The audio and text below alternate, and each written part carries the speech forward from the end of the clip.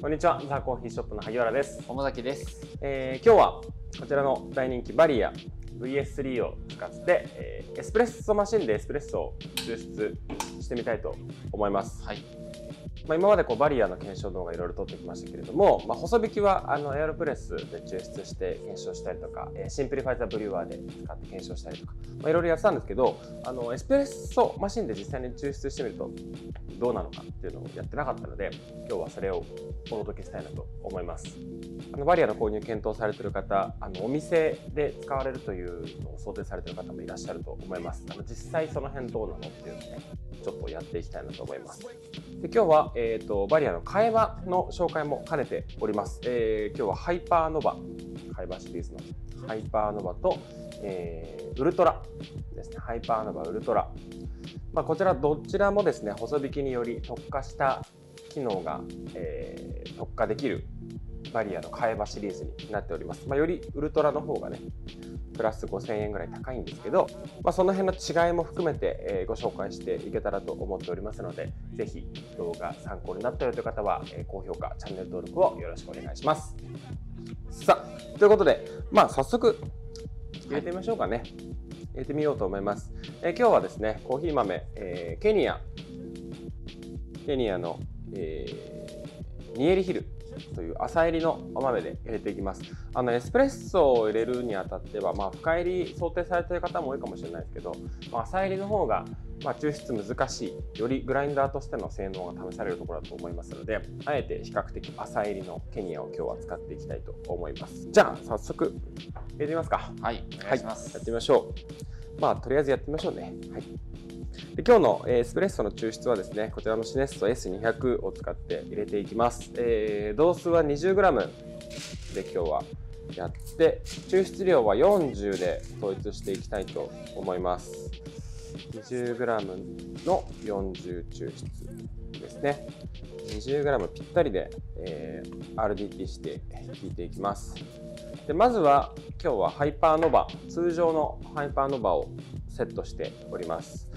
こちらで弾いていきます。ちょっと一発目なんで弾き目は仮なんですけど、え5番で合わせております。で、えー受けるのはペサドのドーシングカップ今日は使います。はい。ペサドのドーシングカップがバリアに結構いい感じのサイズ感になってます、はい、ちょうどいいです。ねこれで弾いていきます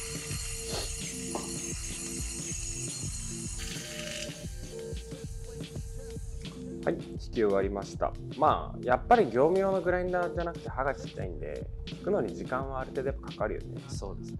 30秒ぐらいだったっけ？確か。ちょっと引くのは、あの、測るの忘れちゃったんですけど、20でも5秒ぐらいだと。25秒ぐらい。まあでも、お店のエスプレッソグラインダーとしてメインで使うにはちょっとさすがに遅いかなって感じがするよね。なんかでもこれで美味しく抽出できるなら、うんサブグラインダーとしてだったら、なんかちょっと違うラインの豆を確かにね。入れたいとか、シングルドースで。そうですね。デカフェだけこれでやるとか、ああ、確かに。いいですね。そういう使い方はありですよね。あとは、イベントとかでどうしても大きいぐらいにやっていけないとかだったら、うん、確かに。使えるかもしれない。確かに。ちょっと遅いですけど。ちょっと遅いね、でもね。うんえー、20g 入れまして、リベリングしていきます。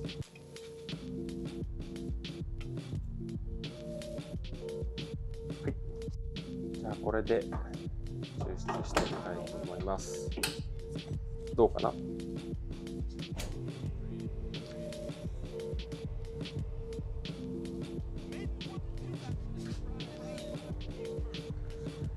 なんかいい感じじゃない？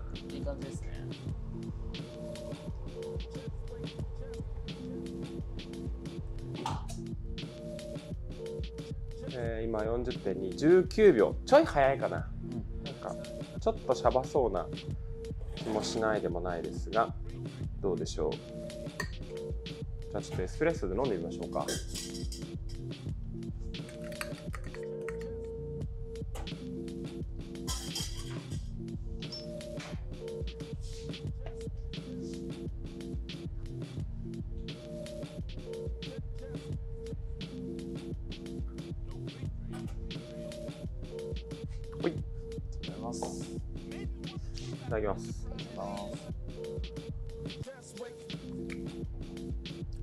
と未抽出だね。そう。うん。ちょっと引き目を調整しようかな。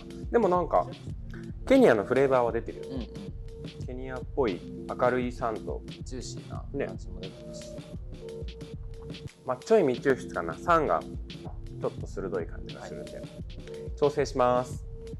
えーまあ、流動かな。えーまあ、バリアは無段階調整なんで結構細かい流動調整ができるのでその辺はエスプレッソグラインダー的な使い方としては割と優秀だと思うんですがどうしようかな。4点。4.7ぐらいにしてみます、はい。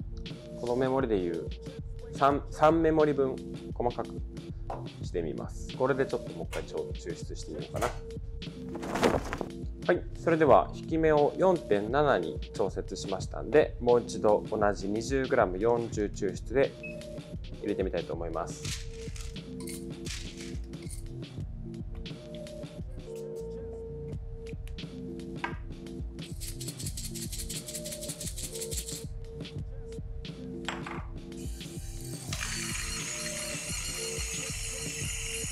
このペサドのドーシングカップだとこの一般的なポルタフィルターにすっぽり収まるサイズなのがいいですよね。でバリアにもちょうどいい大きさなんでバリアでエスプレッソ入れられたい方はこれ結構おすすめだと思います。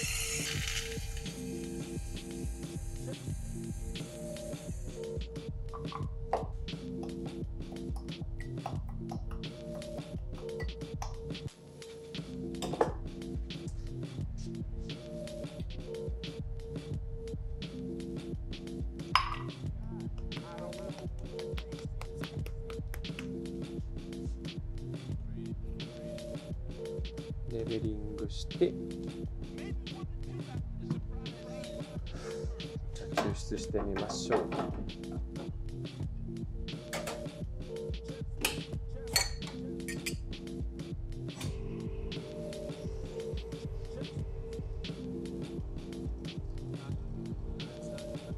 いい感じかな？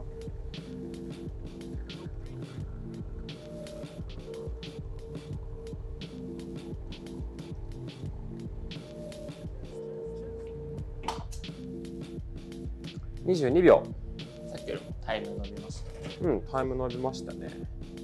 さあどうでしょうか？これもじゃあテイスティングしてみましょう。はいどうぞ。はいいただきます。いただきます。お結構いい感じだなそうですね。さっきよりも甘さの印象も良くなってきたと思いますね。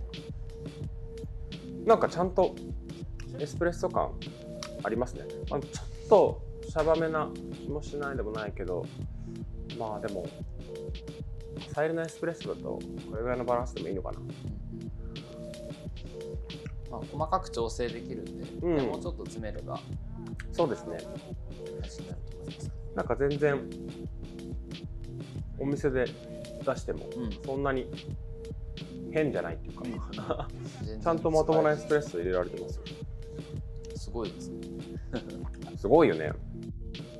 はい。ということで続いてはウルトラにじゃあ変更してはい。みようかなと思います。一旦ウルトラに変更して今バリアで、えーハイパーノバで抽出した4.7と同じ式目で続いて入れていきたいと思います。はい。それでは刃を、えーウルトラに変更しまして、えー引き目さっきと同じ4.7で、えー入れていきたいと思います、えー 20g の40抽出は変わらずですね、えー豆も変わらずケニアのニエリヒルを使っていきます。さっきは割とエスプレッソらしい感じで入りました、もうさっきからでもなんか十分十分いい感じなような気もしますがウルトラに変えることでどう変わるんでしょうかね。ちょっと見ていきたいと思います。今までで言うと結構な違いが出てますそうだよね。なんか明るさがあってすごく酸とかフレーバーがはっきりくっきりよりウルトラに変えると感じるところがありますけれども。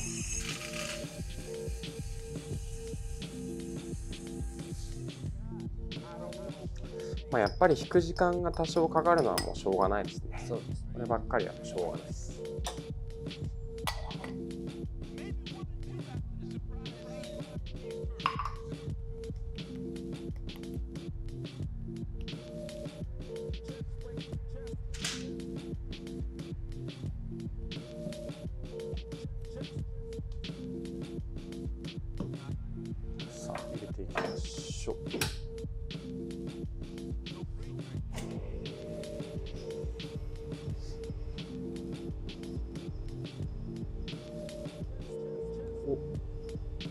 ちが悪いですね。これはどういうことですかね。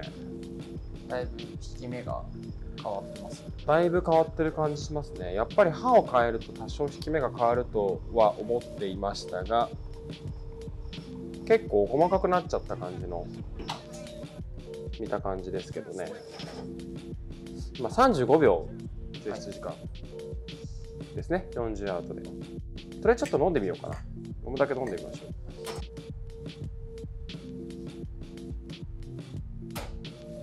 どうぞ。いただきます。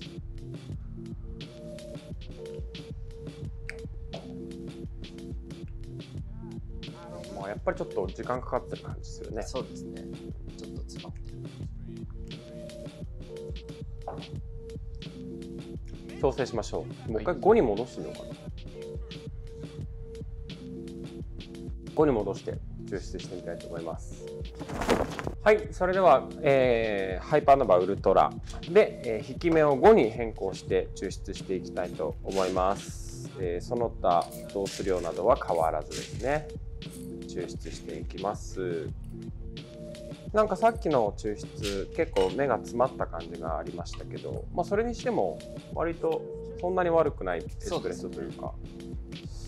ではありましたよね。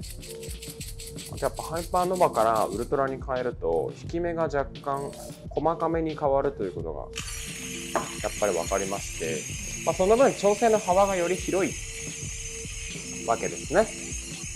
ウルトラの方が調整の幅がより広いということなので、まあ、その分エスプレッソをやる上では、まあ、それはメリットですよね。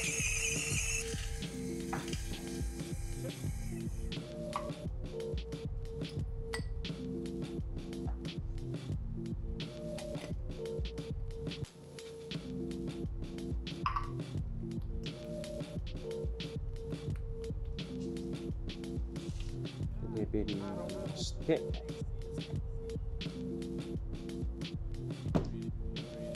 抽出していきます。さあ、こう。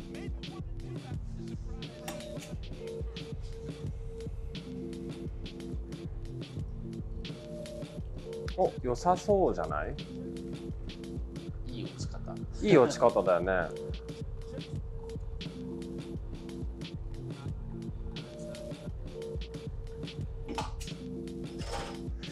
21秒で40.6まあちょい早いのかなという気もしないでもないですがでもまあいい感じではありましたね。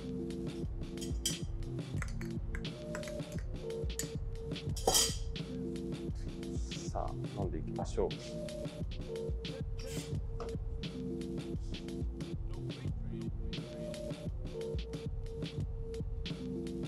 いただきます。いきます。も。ういいんじゃないでしょうか。いいね。ちょい未中気味ではありますが。でも悪くないです。悪くない。ケニアらしい。うん。ケニアらしいエスプレッソ感があって。いいですね。ちょっとグレープフルーツとかね。そっちの明るいジューシーな感じがすごい出てる。なんかトマトジュースみたいな。うん。